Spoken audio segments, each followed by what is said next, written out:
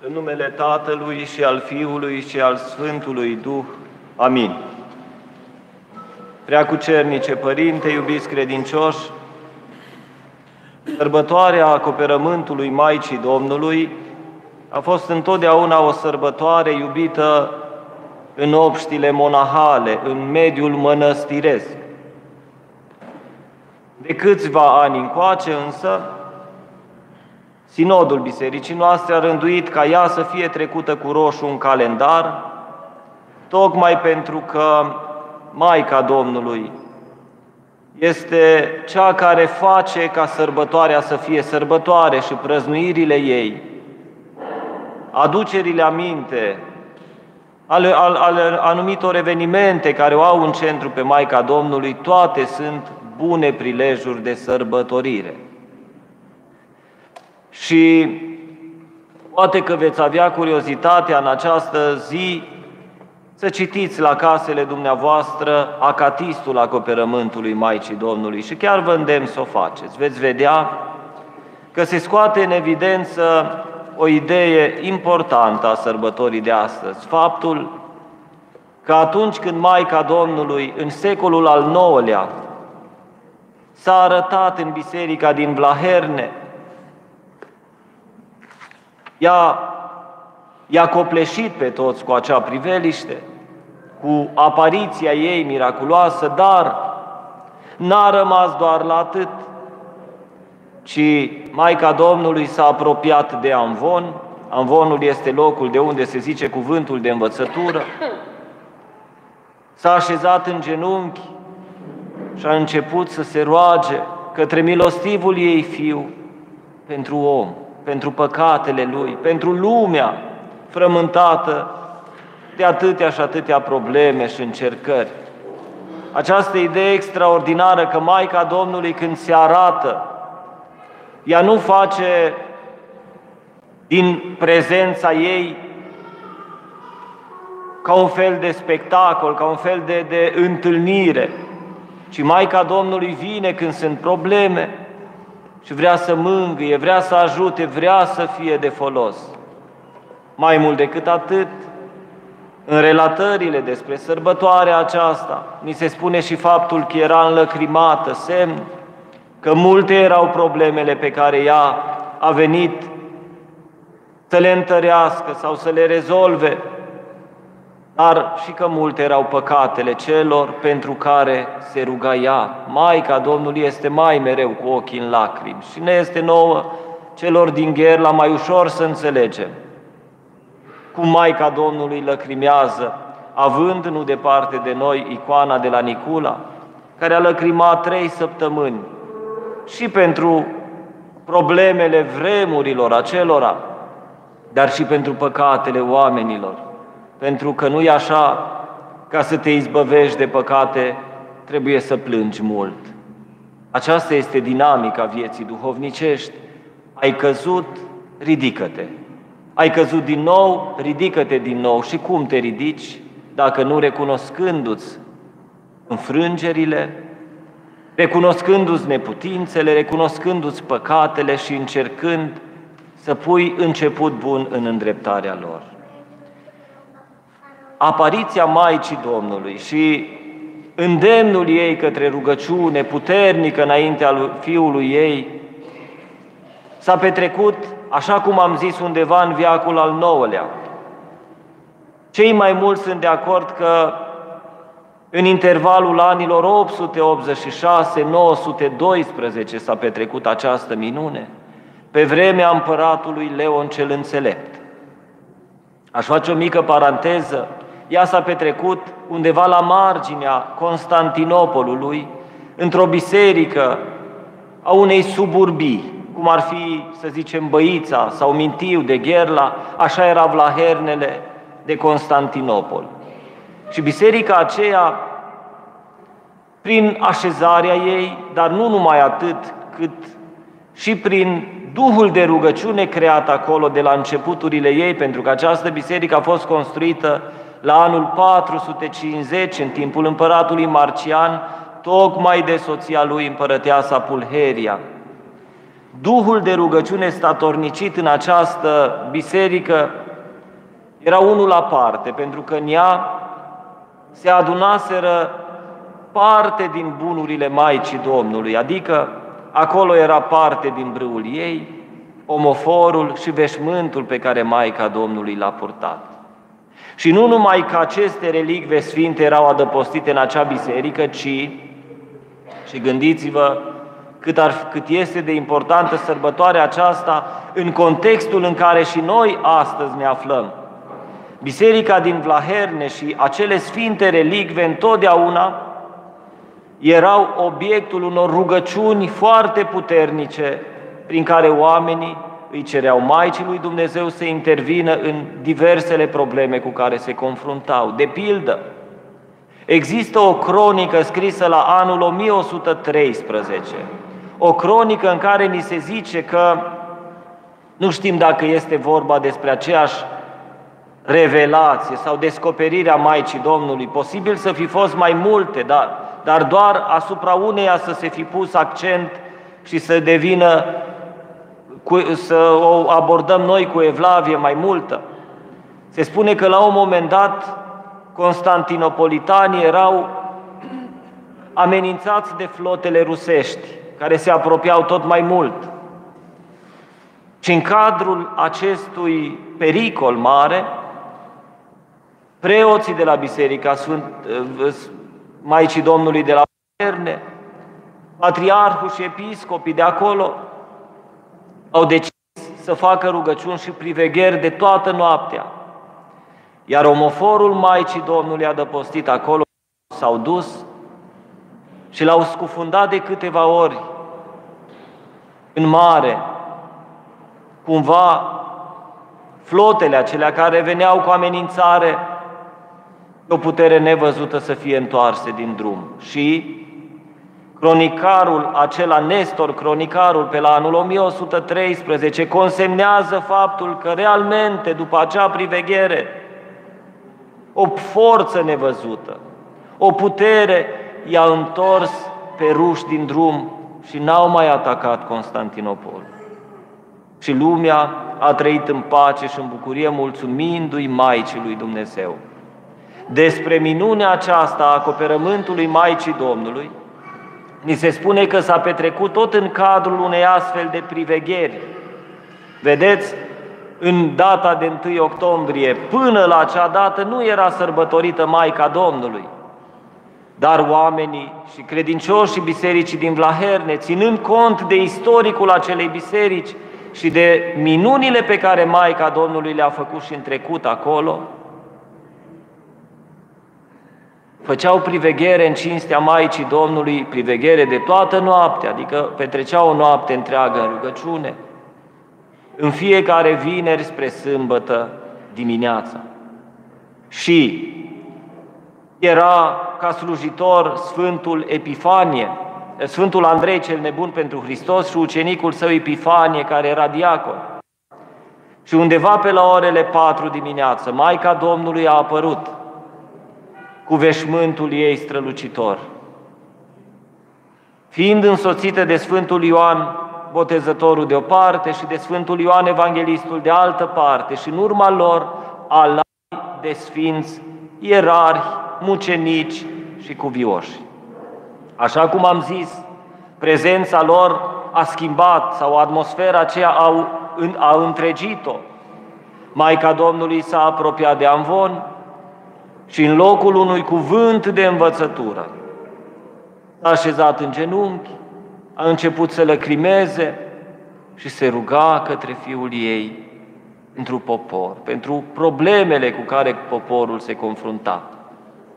Și la un moment dat, când toți cei prezenți în biserică erau foarte concentrați la rugăciune, a început să se înalțe și odată cu înălțarea ei la ceruri și privind să se urce spre cer și într-un gest Maica Domnului și-a întins veșmântul ei peste toți cei ce erau de față ca un semn de mângâiere, dar mai mult decât atât ca un semn de protecție pentru toate relele care s-ar fi putut abate peste oamenii aceea. Și firește că toți cei care au fost martori la această deosebită minune s-au simțit protejați și au înțeles de fapt care este idealul vieții creștine și cum anume un om ar putea să-l atingă.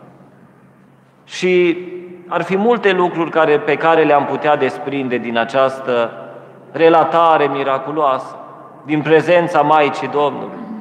Aș spune întâi de toate că Maica Domnului și prezența ei este o realitate la toate slujbele, la toate privegherile, la toate întâlnirile noastre în biserică. Niciodată, iubiți credincioși, să nu vă îndoiți de faptul că în biserică, la Sfânta Liturghie, dar și la celelalte slujbe, sunt mulțimi de sfinți care se roagă alături de noi. Preotul și zice în rugăciuni, de pildă la Vohodul mic, când iese, iese cu Evanghelia din altar până pe solee în fața iconostasului, preotul și zice că să fie binecuvântată intrarea și odată cu intrarea noastră să intre și Sfinții Îngeri în altar. Gândiți-vă ce putere mare au rugăciunile noastre, comune, ale preoților și credincioșilor, de noi îi cerem lui Dumnezeu să le dea drumul îngerilor în Sfântul Altar.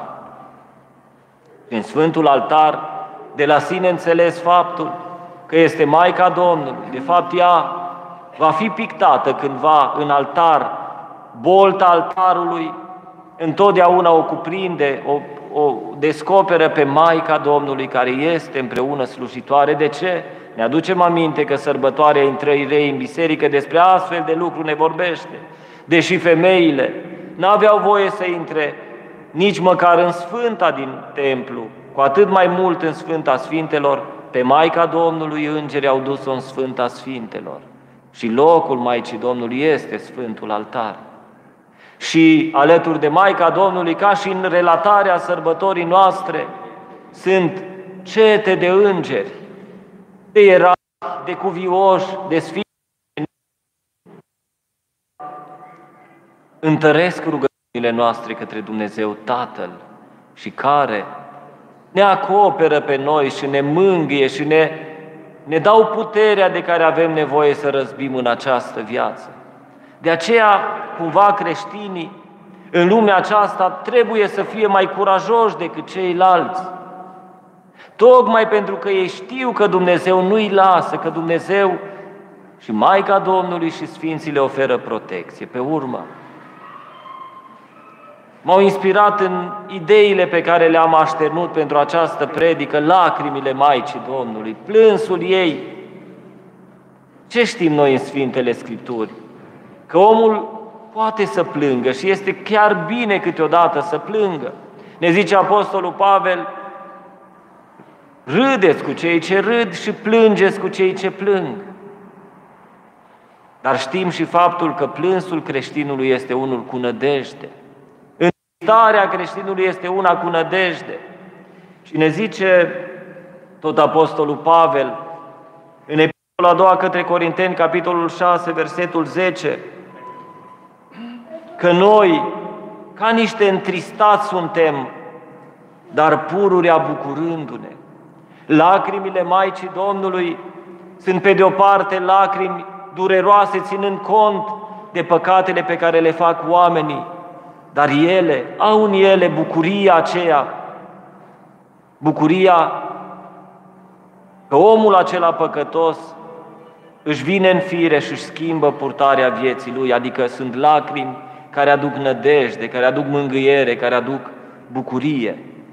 Aduceți-vă aminte doar de fiul risipitor. Ce lacrimi a vărsat tatăl său când l-a văzut întorcându-se acasă.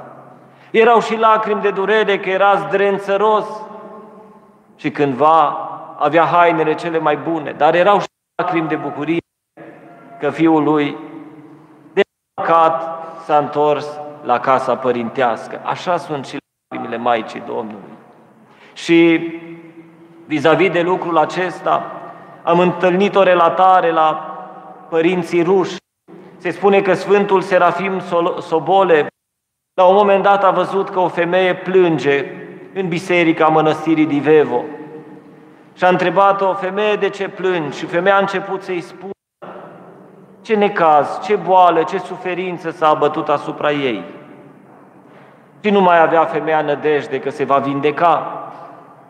Și a zis Părintele Serafim, îmi aduc aminte de tine, că mi-a povestit mie fosta noastră stareță, Maica Alexandra, care știa problema ta și care, iată, atât de mult a plâns pentru tine cu lacrimi înaintea Sfântului Altar și zice, nici măcar n-a interesat-o problemele ei, ci mai tare se tânguia de problemele tale și acum, zice, ea a murit și tu încă trăiești. Zice, mă tem că Dumnezeu are ceva planuri cu tine, da? Du-te la mormântul Maicii Alexandra, care plângea pentru tine mereu. Fă și tu o rugăciune, fă și tu un parastas la mormântul ei. Și la un răstim, după ce vei face lucrul acesta, să vii să-mi spui. Și a venit femeia să se întâlnească cu Sfântul Serafim și i-a spus, Părinte, am făcut întotdeauna spus, am vindecat de boala mea gravă și grea și pe care o port pe umeri de mulți ani.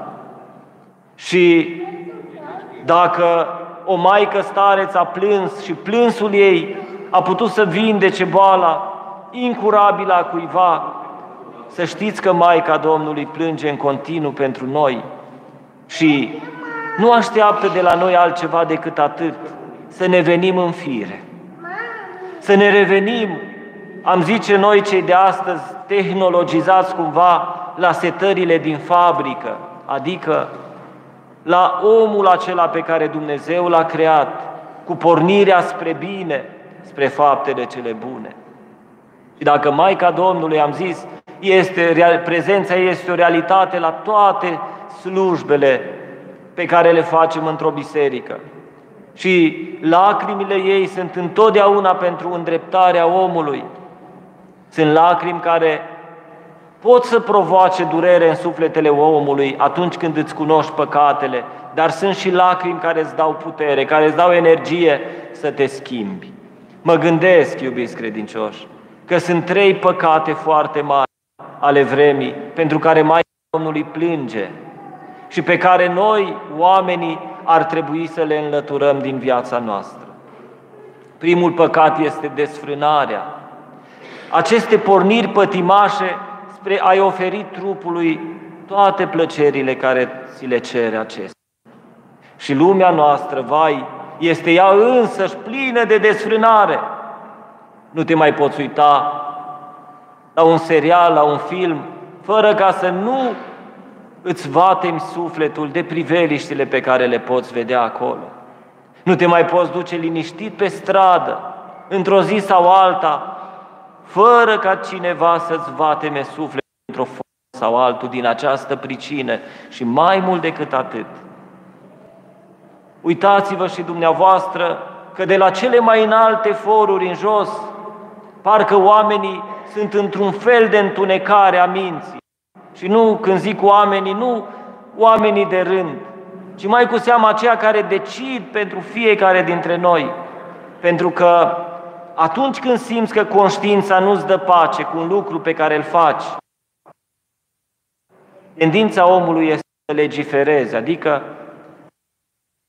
cadrul legal care păcatul acela se poate.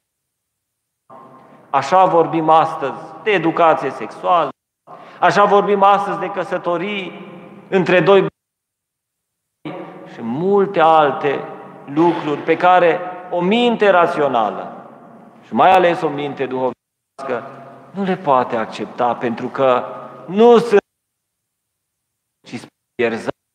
Și Maica Domnului, să știți, plânge din această cauză.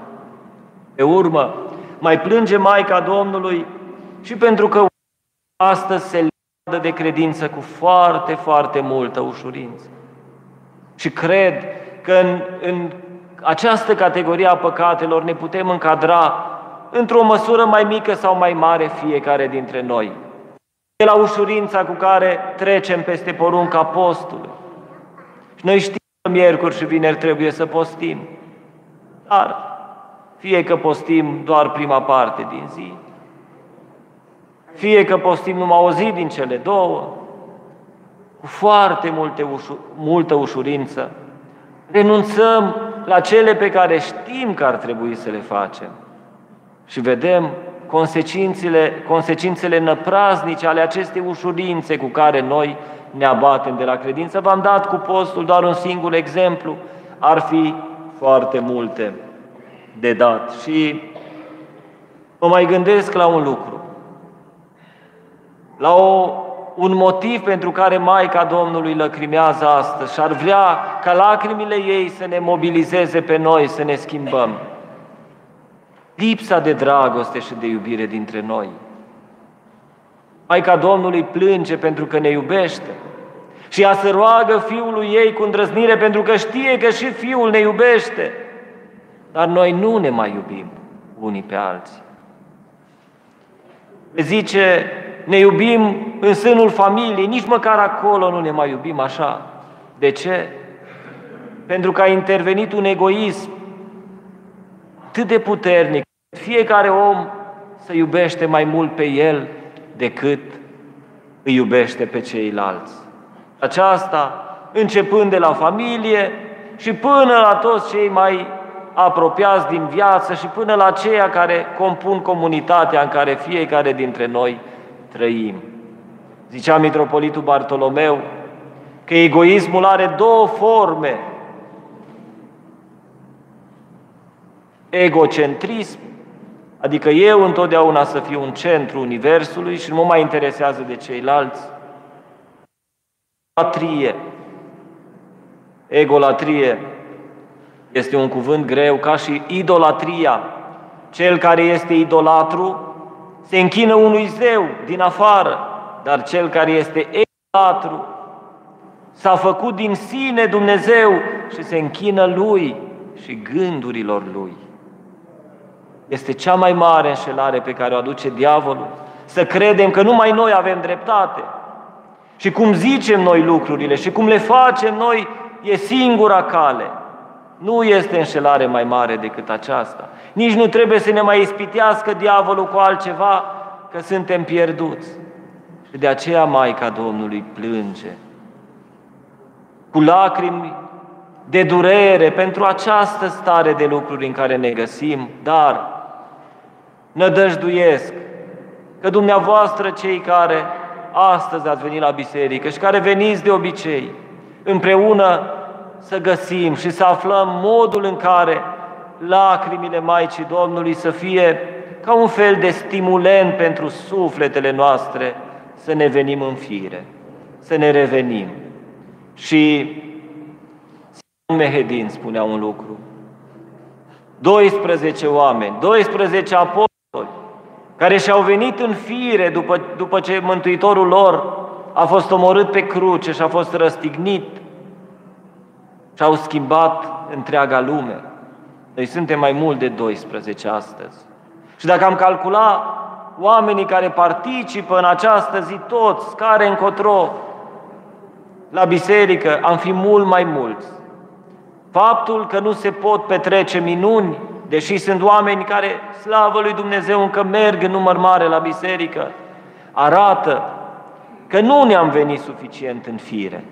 Și dacă ne venim, pandemia va trece foarte ușor. Și în rând cu pandemia, toate problemele mari cu care lumea aceasta se confruntă. Dar lacrimile Maicii Domnului, prezența ei, trebuie să ne determine pe fiecare dintre noi să ne revenim, să ne îndreptăm, să ne abatem de la calea rea pe care am pornit la calea bună. Și doar câteva exemple din Sfânta Scriptură și cu aceasta voi încheia. Se zice în cartea prorocului Ezechiel, pentru că vedem că moartea bate la ușă și nu știm care dintre noi îi vom deschide mai repede. Trebuie să ne punem mereu această problemă. În ce stare mă aflu dacă moartea ar veni acum? Și zice dreptul prorocul Ezechiel un cuvânt din partea lui Dumnezeu și citez În cele în care te voi găsi, în acelea te voi judeca. judecata lui Dumnezeu va fi dreaptă. Și măsura la care suntem noi în clipa morții, aceea va fi continuarea dincolo de viața aceasta. Pe urmă, zice Apostolul Pavel în epistola către Corinteni, capitolul 6, versetul 9, Nu știți voi oare că nedrepții nu vor moșteni împărăția lui Dumnezeu?